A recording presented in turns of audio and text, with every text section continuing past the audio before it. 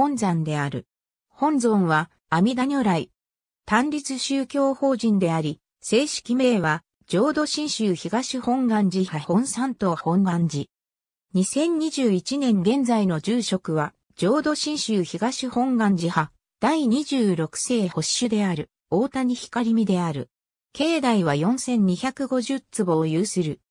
1651年、東本願寺第12世教所が神田に江戸坊洪水寺を建立したのを始まりとし、その後、京都の東本願寺の掛け所となった。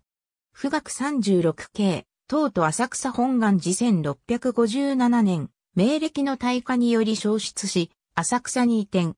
浅草本願寺、浅草門関と称されるようになり、21のシーンと35の達中を抱え、境内は1万5千坪に及んだ。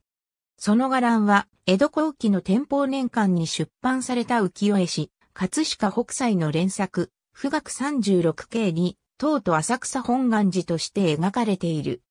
1868年には、渋沢聖一郎や天野八郎などの旧幕臣ら百、数十名により、大政奉還後、上野関永寺に窒居していた、徳川義信の擁護を目的とする、将棋隊が結成され、その拠点となった。1875年、明治天皇の臨行のもと、日本で最初に開かれた地方間会議の議場に使用される。1894年、日清戦争に再死不慮収容所となり、新国捕虜179名を収容。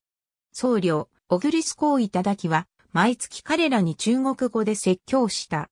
1914年、第一次世界大戦に際し再び不慮収容所となり、ドイツ捕虜計314名を収容。収容所長、西郷虎太郎。翌1915年、収容所は千葉県習志野に移転。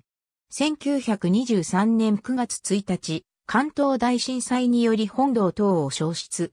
1939年、消失した本堂を鉄筋コンクリート作りで再建する。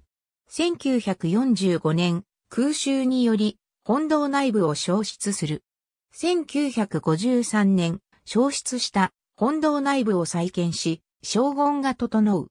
1965年5月に浅草本願寺から東京本願寺へと改称する。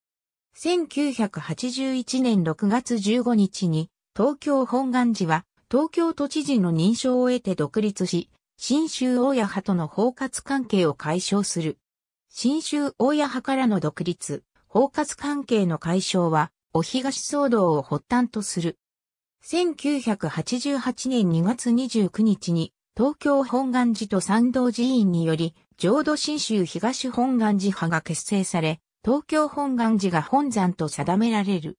2001年4月26日に、現名称である、浄土真宗東本願寺派本山東本願寺が文化庁より認証される。